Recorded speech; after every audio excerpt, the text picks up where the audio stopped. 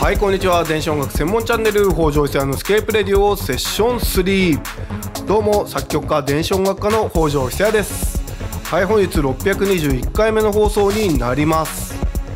今週は久々に2日連続で飲みが入って若干飲みすぎてしまいました。少し涼しくなってきたので飲むのにもいい季節です。さて本日のスケープレディオは温かみのあるエレクトロサウンドのデュオをレコメン。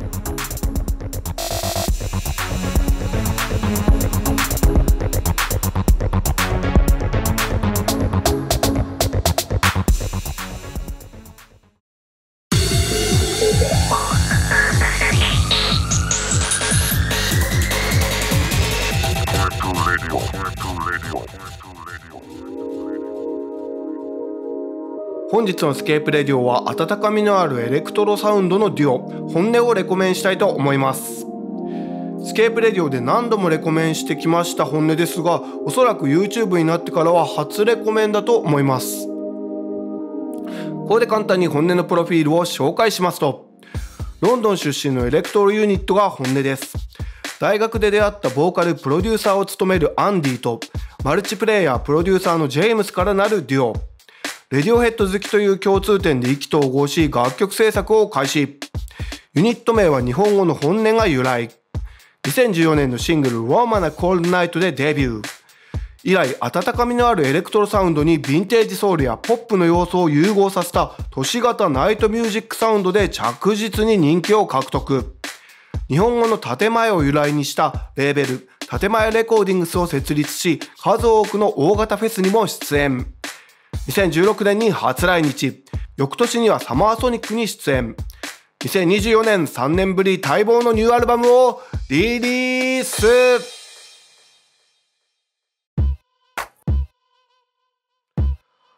はい、簡単に本音のプロフィールを紹介したのですが、ニューアルバムは相変わらずいいですね。アルバム前に過剰にサウンドが変化、進化しないというのも本音がずっと人気の秘訣かもしれないです。いつもの店のいつもの味だなという感じですごくいいです。音楽性を大きく変えたりはしない本音ですが、私生活の方では、アンディは2人の子供の父親になり、ジェームスも結婚をし、2人とも大きな変化があったようで、それが歌詞にも出ているようです。この辺、英語がネイティブだとちゃんと何を歌っているのかわかるので、いいんでしょうね。時代を超えたシティポップや都会系ナイトミュージックの天才と呼ばれる本音ですが、日本をはじめアジアでも絶大な人気を誇っており、ファーストアルバム Warm on a Cold Night は韓国、タイ、インドネシアでマルチプラチナを獲得したようです。シティポップリバイバルのムーブメントのグループの一組という認識の方も多いかと思いますが、2019年には何気に BTS の RM をフィーチャーした楽曲 Crying Over You もリリースしています。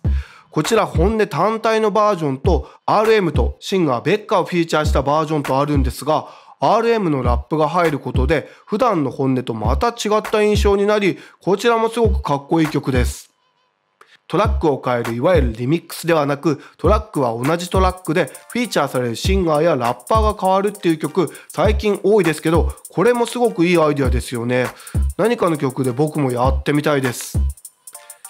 ちなみに Crying Over You で RM と一緒にフィーチャーされているベッカは本音の女性レギュラーシンガーと言ってもいいノッテンガムを拠点に活動するシンガーです。本音のアルバムでフィーチャーされ、ライブにも参加し、その後ソロデビューもしているので、こちらのベッカさんもいつかスケープレディオでレコメンしたいです。それではそんな本音の楽曲3曲続けてお聴きください。Spotify のスケープレディオオンエアというプレイリストがあるので、こちらから楽曲が聴けます。1曲目はデビューアルバムより Warm on a Cold Night 2曲目は BTS の RM とベッカをフィーチャーした Crying Over You 3曲目はニューアルバムより Imaginary 聴いてください。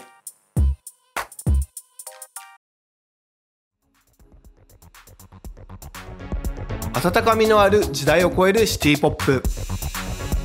本音ニューアルバム「アウチ」は Smile More Recordings ワーナーから発売中です。今日レコメンしました3曲は Spotify のプレイリストスケープレディオオンエアから聴くことが可能です。YouTube チャンネル登録もぜひよろしくお願いいたします。励みになります。